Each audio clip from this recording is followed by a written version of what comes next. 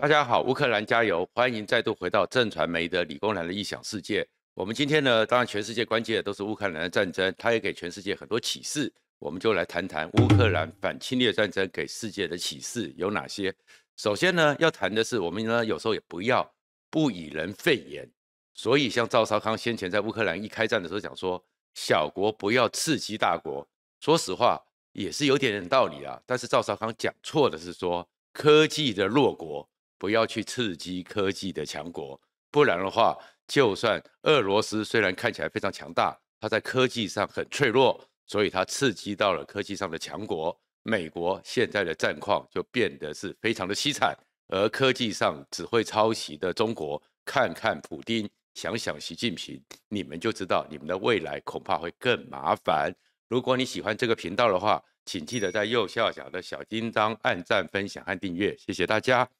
我们知道说，这次的乌克兰战争呢，乌克兰反侵略战争打了二十几天，完全出乎全世界事先的预期。过去的时候，苏联帝国留下来的陆权强权里面的钢铁洪流、坦克车轰隆轰隆的压过去，红色暴风雨、各种火炮、飞弹、饱和式攻击，几乎过去的时候都让北约、让欧盟、让中国附近的很多国家都感到害怕。但是这一次的战争打到不如预期，打到这个情况之下，其实在整个俄罗斯的战况里面，有一个现象让很多的军事专家，还有全世界研究战史的人都觉得非常的诡异，就是他们的将军很多都在战场上被击毙了。我们常说将军通常在战争上呢，都已经是在大本营或者是参谋本部运筹帷幄，一个运筹帷幄的将军很少。去到前线，就算去了前线的话呢，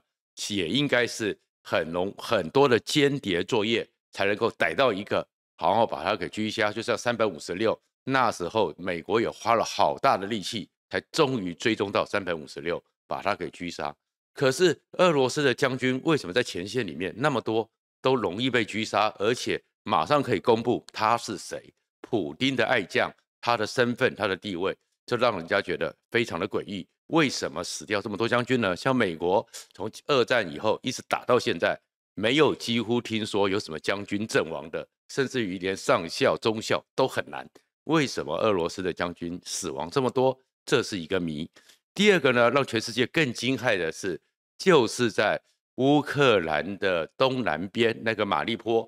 整个都已经围困了，里面四十万人都过得非常痛苦。而俄罗斯的军队也是几乎是杀疯了，杀红了脸，连幼妇幼医院都会攻击，可是还是不断的被乌克兰的军队给打回去，甚至于在整个十六号、十七号传出让全世界更惊骇的状况，是说他的一支非常重要的格鲁乌特种部队，他的指挥官少将也被狙杀了，而他的一个连队也被全面的狙狙杀，这件事情在战争史上。也是非常的特殊，为什么特殊呢？是因为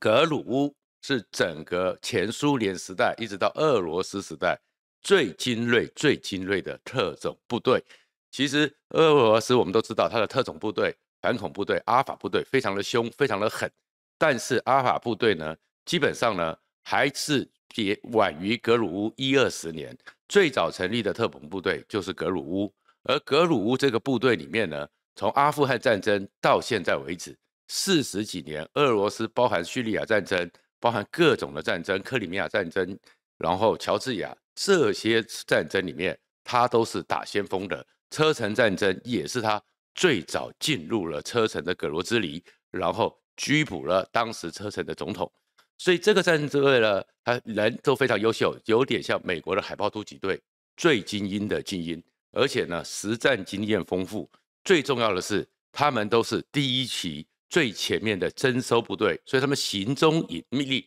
他们基本上应该是不会被征召的，而且实战经验非常的丰富。怎么他的少将也会被人家抓到呢？他们在树林里面应该是前行的，应该是不容易被人家找到目标的，竟然被抓到，而且被直接的狙杀掉。全世界都在看，到底在这个情况里面出了什么事情呢？渐渐的有一些情资出来，原来。整个俄罗斯的高官非常痛苦的，他的报告里面说，我们只要一通话，马上就被美国知道了。所以其实他就透露了这场战争里面一个核心关键：通讯科技。美国完全碾压了俄罗斯，所以在俄罗斯在通讯科技上是一个弱国，一个科通讯弱国碰到了一个通讯的强国，基本上整个俄罗斯的军队基本上就好像是光着没有穿衣服在大街上行走，都被美国看透透，所以美国当然可以把资讯立刻的传给乌克兰的地面部队，所以乌克兰地面部队完全掌握俄罗斯的动向。所以俄罗斯的军队在无里无踪，可是美国光我们不要讲说什么卫星间谍，光一个通讯科技就把整个俄罗斯吃得死死的。乌克兰呢，虽然用的武器也很老旧，比如说他在十七号晚上公布了他们一个四十枚的火箭炮，在二十五秒钟打出去，那个叫 BM 二十一，那个 BM 二十一呢是一九六零年代的火箭炮，你不要看它火力这么旺盛，它其实是一九六零年代当年。俄罗苏联打中国的珍宝岛都拿出来用过，六十年前的老武器，为什么现在在战场上也这么厉害呢？因为它是老的拳头，但是它有新的眼睛，这新的眼睛就是美国凌驾世界的通讯科技。那当我们要回来讲了，其实呢，人类的聪明才智都差不多的，不分族群，不分种族，不分你是黑色的、白色的，什么各种颜色，基本上大家所学的物理学也差不多。那为什么同样的一个科技，同样一个能力，而且俄罗斯、乌克兰这些斯拉夫民族，他们的数理能力其实比美国更强？美国还要靠很多电子计算机的帮助，而整个俄罗斯他们数理能力，用一只手、一支笔、一张纸都可以算得比美国精准。为什么他们科技能力、科技人才这么好，但是会被打成这么惨呢？还跟他们的体制有关系。美国的科技能力、通讯能力到底有多强呢？跟大家分享一下，几美国有几个神秘的计划。有第一个计划呢，叫做戴安娜计划。而这个戴安娜计划是在还没有有现在整个地球上空都还没有卫星的时候，美国就有能力掌一下子掌握半个地球所有的通讯，把它解密、把它监听、把它给截钉。这个叫做，其实它的本名呢叫做。月球中继计划，美国早在一九五零年代就有能力透过无线电波从月球反射回来的状况捕捉到、收听到、监听到、分析出来。这个戴安娜计划很特别，我们知道说，其实无线电波开始大量运用是在第二次世界大战的时候，所以第二次世界大战的时候开始大量运用无线电波，然后透过无线电波开始去。掌握情资，掌握战场，掌握各种情势。然后在无线电波这刚出来的时候呢，在二战的时候呢，其实美国呢碰到了一个叫战场鬼故事。什么叫战场鬼故事？因为他们真的搞不懂这是什么鬼，怎么会有这种事情呢？因为在大西洋的美国海军有时候会接收到一些很奇怪的音讯，而这些无电磁波、这些无线电波接到的时候，里面呢，因为他们在大西洋上嘛。他们听到的竟然是，哎，奇怪了，怎么会是听起来的语言都听不懂呢？后面慢慢的，因为整个二战打到全世界，里面有些人呢，可能来过亚洲，他们听起来说这些声音听不清楚，但是依依稀稀的，好像是日文，甚至于好像是中文，怎么会是这样子呢？隔了那么远，在一个在大西洋，你怎么会听到太平洋上面的一些声音？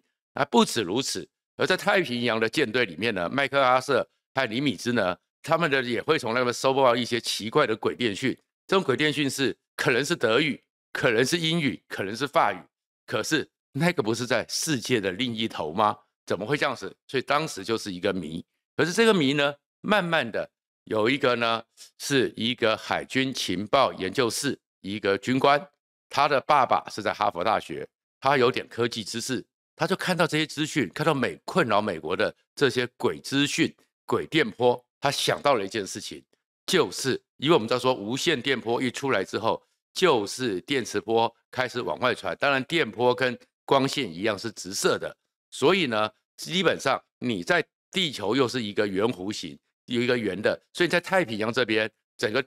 光声波或怎样，应该是不会过来到太平大西洋。大西洋的声音也不应该在地球这边会绕过来，会转弯到达太平洋。但是如果它是直走的，在地球的上方有一个反射物体，把那些音波碰到之后，则反射回来，你可能就会在地球的另一端收到了。而他想来想去，很可能的那个反射体就叫做月球。所以是不是因为月球的表面，我们知道说相当的光光滑，然后这个电磁波如果真的从地球上出去之后，虽然慢慢的 decay 下来，慢慢的衰弱下来，但是还是有能量。如果碰到月球，刚好反射回来，刚好在地球上被接收到，是不是就有可能？所以月球是不是一个反射的中继站？他提出了这样的想法。那刚开始的时候，很多人觉得说可能吗？可是很很多像哈佛、像麻省的很多科学家就说，哎，搞不好有机会哦。所以就启动了这个月球中继计划、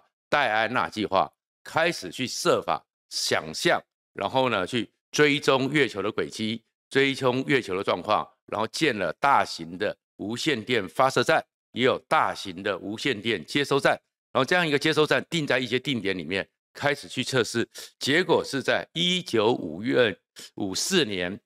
七月二十四号，竟然呢，他们真的发现月球是可以当反射点。虽然他们是用麦克风，就像我们现在用麦克风讲了一个话，讲了话之后就透过了那个电塔发报器就传出到全世界了。但是呢？经过了二点五秒之后，距离八十万公里，刚好是到了月球又折射回来，这样一个时候，他们收到了自己的声音。那当然，在这个过程中，从一九四六年到一九五四年这八年内，他们也做了很多怎么样接收电波、滤波，然后放大器，因为从地球打出去，再到月球再折射回来，其实它的强度、它的音量。整个是能量是 decay 到了千万分之一，甚至是几亿分之一，但是他们都把它给放大出来，真的发现说，原来月球是可以折射地球上任何人在用无线电讲的时候发散出去的。你以为说它已经都不见了，你以为说它都听不到了，其实它还在这个宇宙中跑来跑去。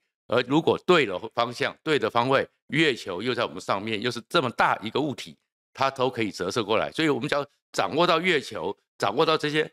很可能的折射方向，然后做好接收器，做好滤波、极波，然后把它放大、过滤，其实你就可以监听全世界。所以美国就发现说，原来那个时候，一九五八年才有史波尼克卫星，那个时候全世界在我们的地球上还没有卫星，但是美国那时候就发现说，他们可以掌握半个地球的声音，然后他们真的是这样子，所以他们在一九五五年二月又做了一个实验，真的是跨洲。在北美洲可以收到整个北非那边传出来的资讯，所以美国一下子就在通讯科技上掌握到了这个资数字。所以潜水艇怎么走，当时各个时候，不管你是什么样的加密无线电报或怎么样，美国都可以掌握俄罗斯的潜艇、俄罗斯的军队调动、俄罗斯的任何的一个，只要你是用无线电波的状况，其实你以为你在远在俄罗斯。跟美国是完全在另外的，而且地球有弧度，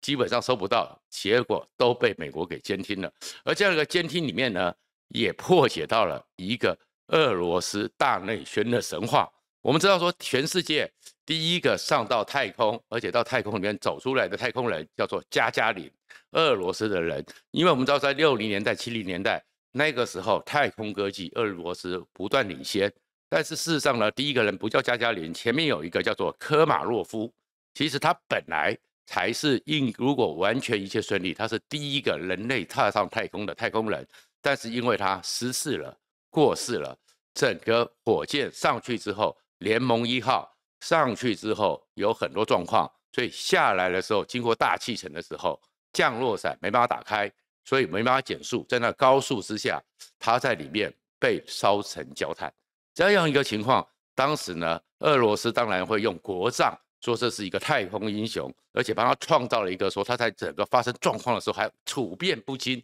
他最后一个通讯叫做“请允许我在这茫茫的太空向你们告别，再见了”，好像多么的悲壮。可是美国在北约土耳其那边的无线电站就已经部署好了，就是透过月球的反射告诉全世界说，这里面是俄罗斯这样的体制。害死了这个科马洛夫，为什么呢？因为美国所接收到他最后的通讯，你看当时这艘太空船先坠毁是落在苏联的大草原，但是美国照样接收到，所以美国的通讯科技其实就遥遥领先而且非常擅长于掌握俄罗斯、掌握全世界的资讯。所以为什么在三一九的时候，台湾很多人相信说，搞不好美国早就知道台湾在干什么，有没有什么秘密通讯？就是因为事实上美国的通讯科技真的超乎你的想象。然后俄罗斯现在这些将军们无线电一打开。他其实不知道，他就已经曝光了，就在美国所掌握了。然后里面是状况是说，因为当时呢是赫鲁雪夫，赫鲁雪夫要创造证明说他因为在整个当时是一九一八到一九六八的时候，整个苏联革命是非常强大的五十周年，所以他一定要发射这个卫星要抢先。但是在这个联盟一号要上去之前，要抢先全世界第一个太空人送上太空，但是很多科学家。发现说里面有问题，里面有些状况没不能解决，里面还有很多测试没有完成。但是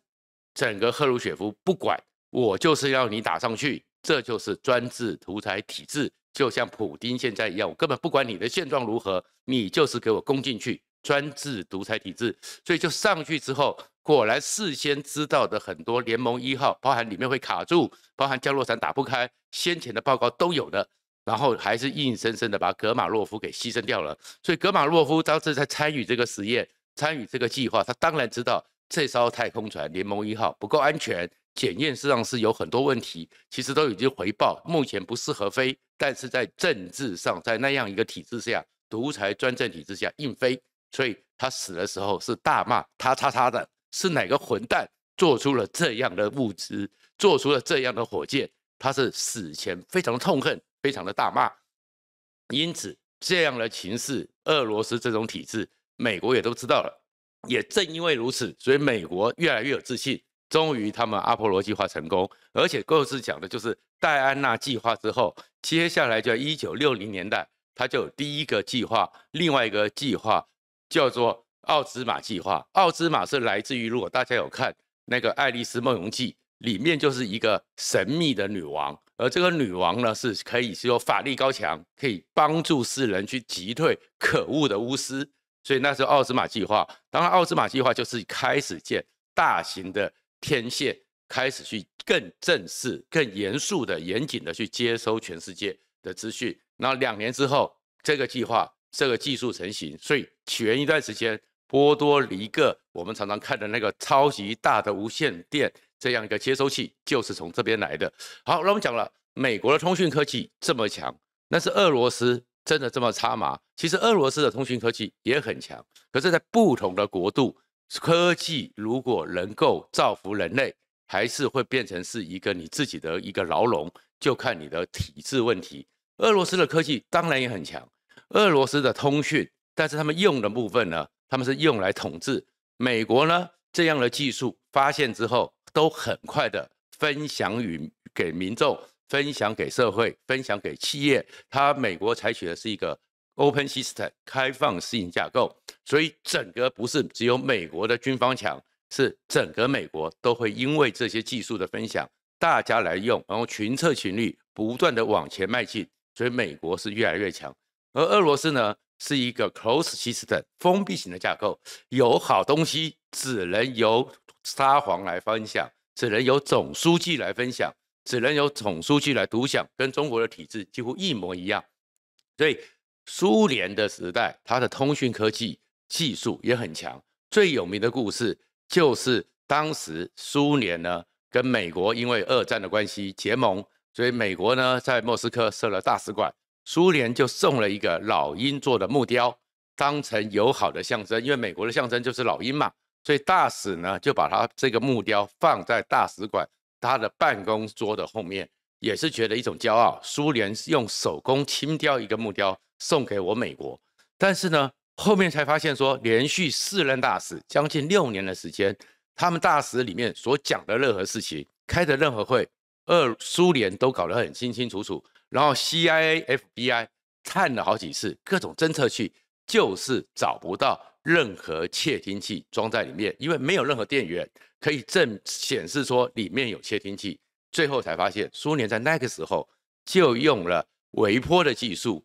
造就了一个用声波启动微波，微波自震动发了微电波之后，然后当你不讲话就没有声波，一个不需要电源、不需要电池的监听器，直到了后来，是因为美国是找到了那个整个木雕里面藏有奇怪的仪器，但是后来 CIA 还是花了二十年的时间才解答这个问题。然后，甚至我们现在知道说，玻璃震动，你在两百公尺内装一些监听器，你就可以分析玻璃震动，偷听那个音波。这个技术也是苏联发明的，但是苏联拿到这些技术，拿到这些状况，他们是用来老大哥在注视着你，用来监控人民，用来监听人民，他并没有把这个技术给分享出去。而美国就不一样，美国就是它的 DAPA 每年有数百亿的预算是跟全民共享，而美国的这个人力会分散出来。比如说在当时的时候，现在我们大家用的 Internet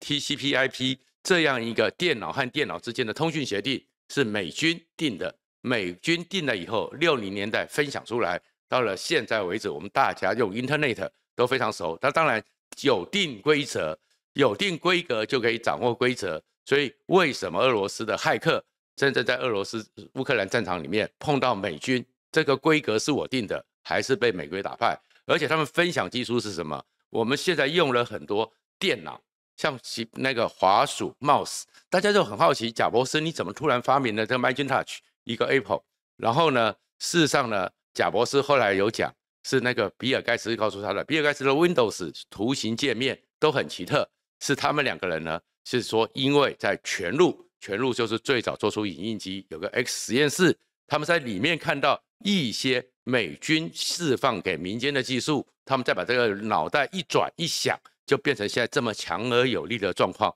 而美国呢，在九幺幺之后，因为要去狙杀宾拉登，最后呢成功狙杀宾拉登，但是发现说，哎，这个人脸辨识是因为当时只有六成的把握，认为那个人可能是宾拉登，他到底是不是宾拉登不知道，所以 FBI 还